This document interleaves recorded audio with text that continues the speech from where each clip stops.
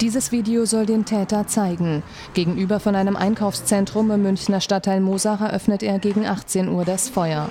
Die Polizei ist im Großeinsatz, spricht von mindestens sechs Toten.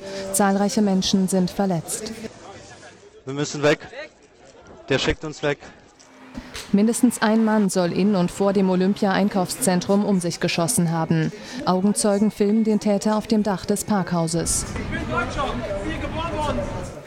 Die Polizei vermutet einen terroristischen Hintergrund wenn jemand mit, einem, äh, mit einer Langwaffe, das ist die erste Meldung gewesen, in ein Einkaufszentrum geht und ich mich dann einfach mal ein bisschen zurückerinnere, was die letzten Wochen zu Europa passiert ist, denke ich, ist es gerechtfertigt, in diesem Zusammenhang von dieser schlimmstmöglichen Annahme auszugehen. Und es ist auch gut so, dass wir davon ausgegangen sind. Der Täter ist noch immer auf der Flucht.